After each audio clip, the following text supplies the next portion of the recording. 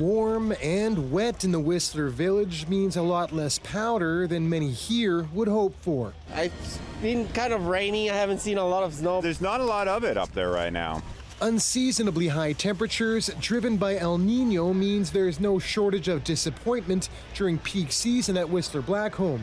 Nancy Howe and her family traveled from Arkansas to be here. We'd hope that they'd be a bit better, like a few more fluffy flakes. This couple from California, understandably underwhelmed. This was our first time, so we had heard great things about it, and I'm sure it's beautiful when it's covered in snow, but we just picked a crappy weekend, I think.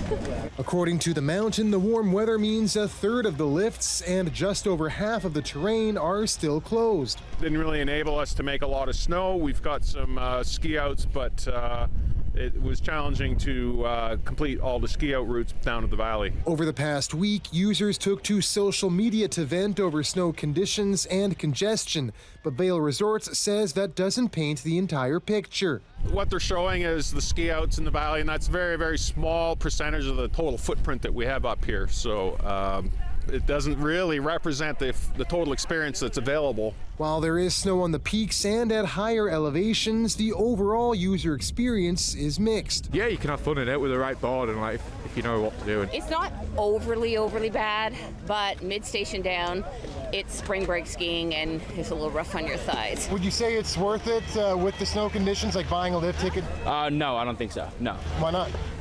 It's there's no snow and we need some snow. Operators say there's signs conditions will improve into the new year. Environment Canada says it's possible, but far from a guarantee. It's not looking like it's going to be a really strongly snow driven January. Still, even if fresh snow is in short supply, many here are still finding the silver lining. We don't get snow in Arkansas like this, and we love to ski, so and we're with family, so you make the best of what it is. Sean Hernandez, CBC News, Whistler.